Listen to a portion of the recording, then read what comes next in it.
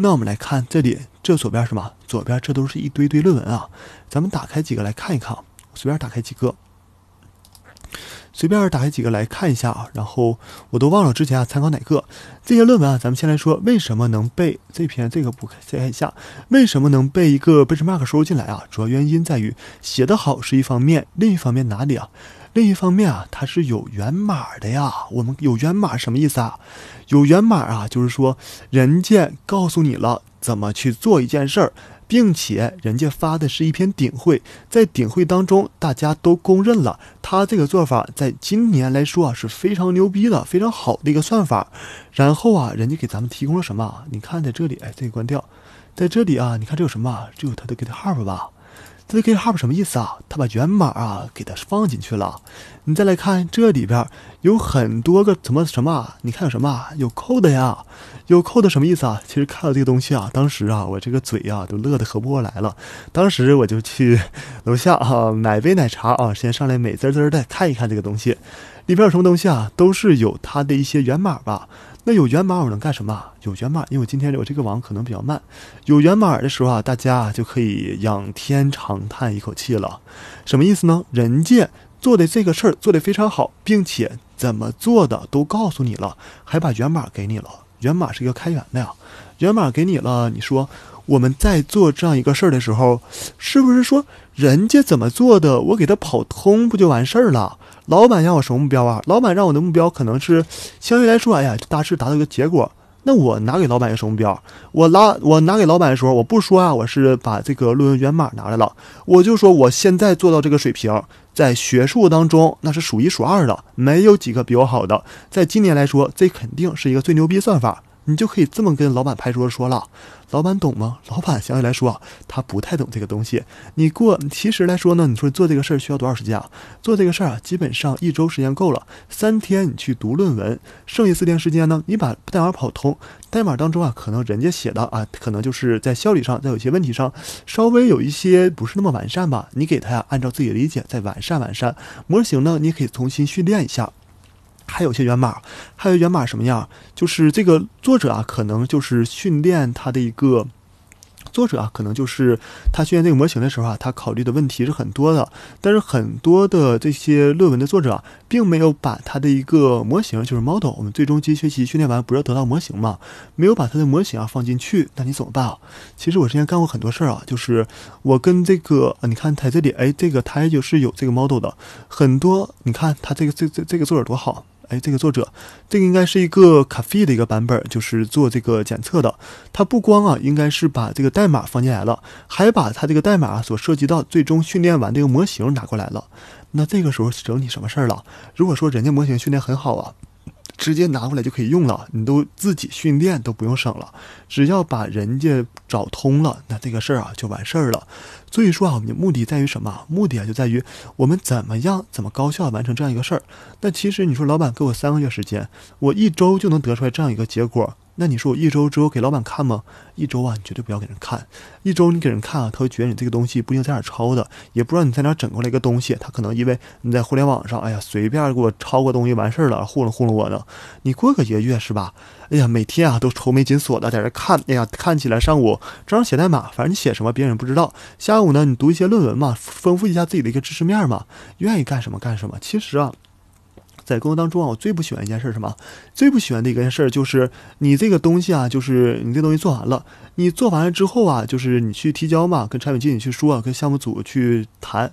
然后啊，就是最烦一件事，就是这个东西啊，他们你要懂技术还好，懂技术你给我指点指点，哎呀，我可能愿意听。你要不懂技术，你就看这个东西，哎，跟我说，哎，这块怎么样啊？那块怎么样啊？这块怎么样？哎，这个遮挡现象为什么没做好啊？你这个东西得完善，那个东西你重做啊？这个东西咋的？我一听这个东西啊，那我脑瓜子疼。我之后我为什么为什么去读博啊？为什么去读博？最大原因啊，就实在是不愿意去做这些比较烦的事儿，比较烦什么事儿？你这个模型其实你觉得已经做的非常好了。然后那边呢，可能产品经理就觉着，哎，这块应该加上什么东西，那块应该少个什么东西，这块我们应该还怎么做的完善？其实啊，这个东西有必要做的这么完善吗？没有必要啊，一堆没事找事儿的活儿太多了，我特别就是烦这些东西，所以说啊，嗯，在工作当中啊，也不太愿意干，后来就就走人了啊，这样一个故事。那咱们在这个过程当中啊，就给大家说了，我们要去找这样一个 benchmark。找这个奔驰 Mark 的过程当中啊，这也是一个学问啊。这靠什么？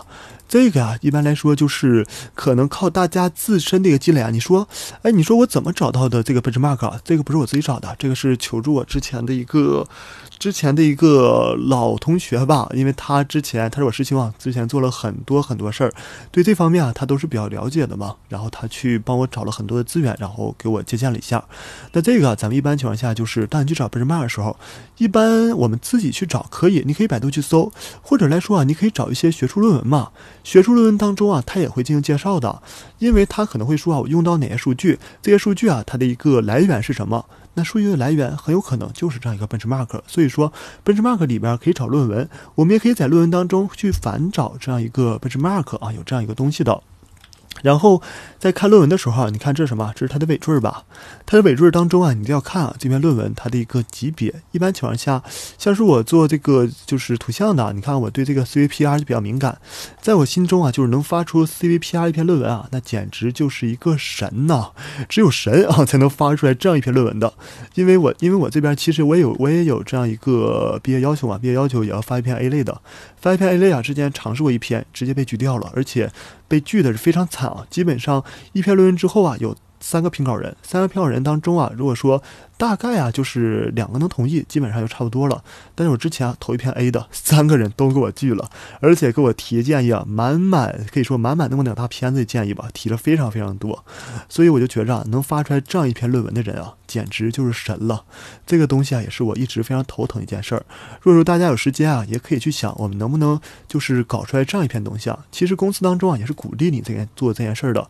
公司啊，其实就是很鼓励你，你去参加一些竞赛，参加一些。学术论文，你投出来这样一篇东西啊，但是他要求你以公司的名义啊。你看每年啊，像是各大巨头嘛，各大巨头，其实我们每年在评选啊一些，就是哪个行业啊，它在某个研究领域研究比较好，一般情况下可以看什么，在某一个大家公认的顶会当中啊，公认的一个顶会当中，你说百度。出产多少篇？谷歌出产多少篇？Facebook 又出产多少篇？我们可以啊，通过这样一个东西啊，评估啊，它在当前这个研究方向啊，它的一个能力是长什么样子。所以啊，这个也是需要大家啊，不断进行一个积累的。能发出一篇论文啊，是一个非常有帮助一件事儿啊。然后当时其实。我那个硕士毕业时候啊，我想去那个阿里的，请阿里有一个非常好的部门啊，有一个也是做视觉的。然后之前把简历投去了，把简历了投过去之后啊，直接就是面试的机会都没有。为什么？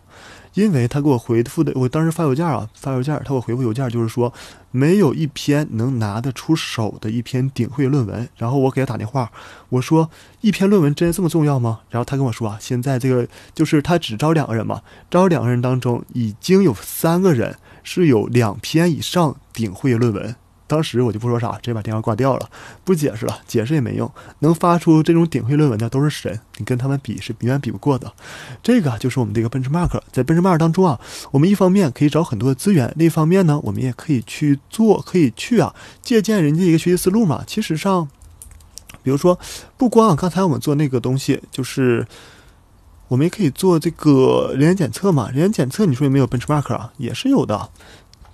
你看，你一搜，直接就搜出来很多个 benchmark 吧。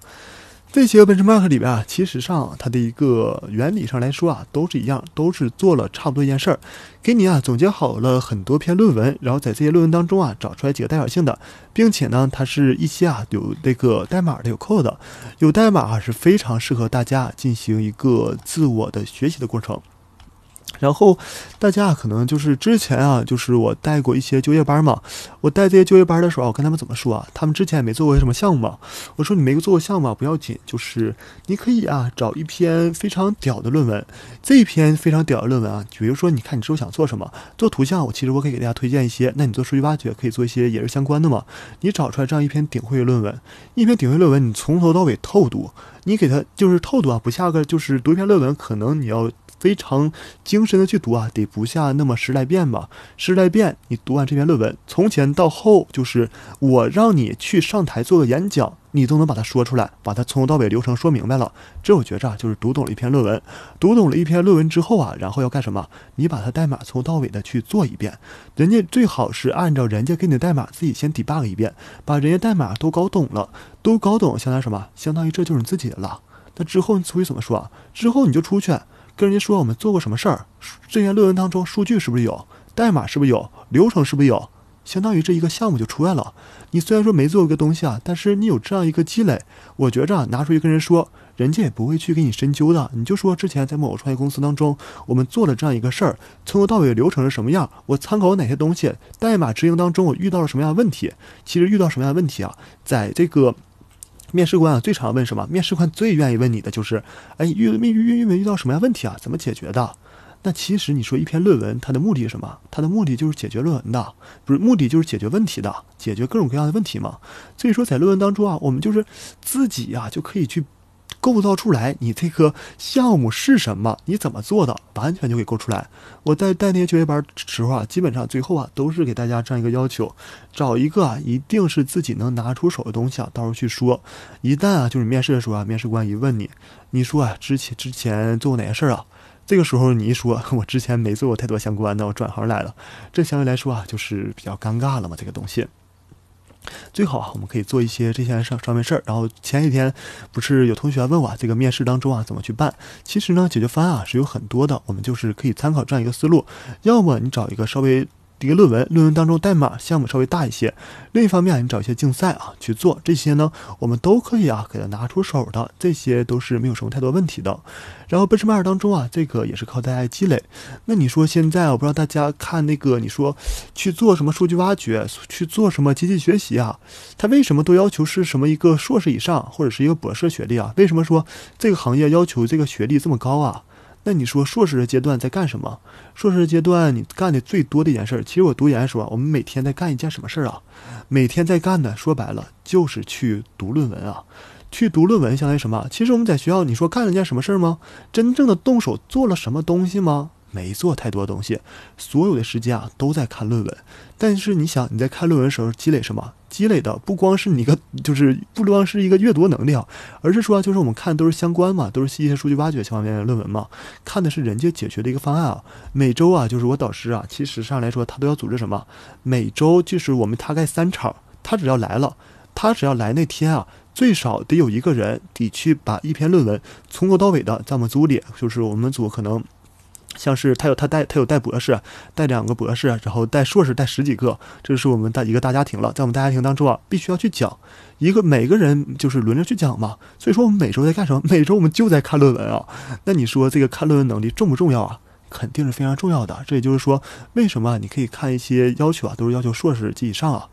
就是要求你这个看论文能力一定要强，你这个找资料能力、找问题的解决方案能力啊一定要强，因为我们接触的数据啊可能是各种各样的，那你在各种各样问题当中啊，你说你动脑筋自己去想，除非你是一个教授级别的。你五十多岁了，有三十年的一个阅历，你说你自己去想没问题。